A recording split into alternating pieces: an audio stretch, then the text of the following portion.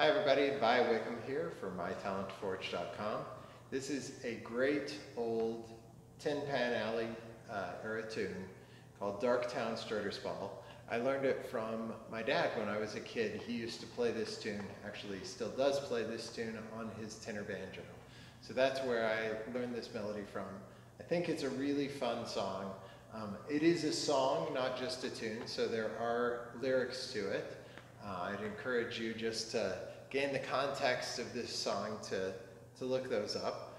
Um, maybe we'll have a link to uh, the lyrics below or something like that. Um, this is uh, in the key of C. It's kind of a swingy ragtime feeling tune.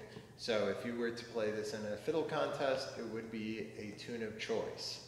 So um, kind of an intermediate level um, tune, and we might add a few little variations to it. One, two,